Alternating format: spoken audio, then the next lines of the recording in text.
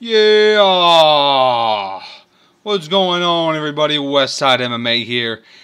And we got another Try'em. This time, we are using Costas Philippou, who is a middleweight, 87 overall. He, you know, 87 overall, um, not that good. In this game, you know, I don't like the rating system in this game. I'm not going to talk about that, but he's an 87 overall, which is, you know, you know, not that good considering people like Pat Barry are, you know, 85, 86s.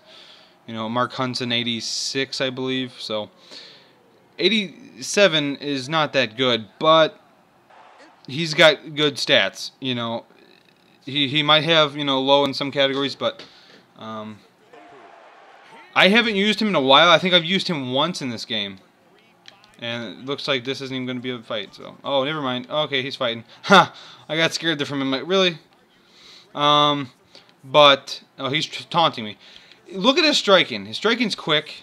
Um, I used him once when the game very first came out because I wanted to use him because you know, using people that have never been in a UFC game before is kind of cool. Um, he's got strong strikes. Okay. Oh my God, I'm getting lit up. Um, he's got a Superman punch. He's got, uh, God, I think he's got the overhand. Oh my God. You might get lit up with him. Um, um, God dang. Okay, this is, this is how, yeah. Oh my God. oh. Oh, that was great. oh, God. Oh. Oh, yeah. Don't use Costas Philippou. Oh my god. Oh Jesus.